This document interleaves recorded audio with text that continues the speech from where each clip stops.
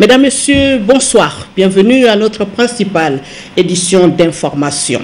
Le Conseil des ministres s'est tenu ce matin, euh, tenu ce samedi après-midi au palais de la présidence de la République.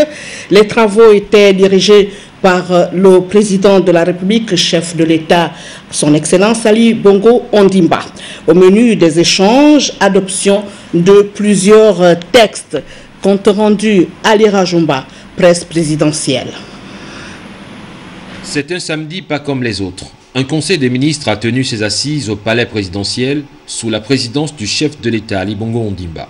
Au menu des échanges de ce tour de table qui s'est déroulé dans une atmosphère de travail et de sérénité, les membres du Conseil des ministres ont examiné plusieurs projets de textes législatifs et réglementaires.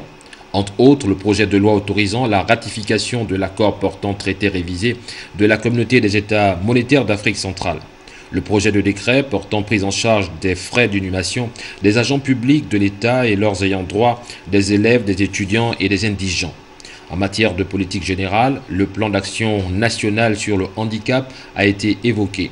Le Conseil des ministres a aussi notifié certaines missions, notamment la participation du ministre de la Santé à la conférence paritaire des ministres de la Santé de l'Union africaine et l'Organisation mondiale de la santé à Luanda en Angola. Et enfin, la participation du ministre du Tourisme à la deuxième foire du tourisme des États membres de l'Organisation de la coopération islamique à Tunis, en Tunisie.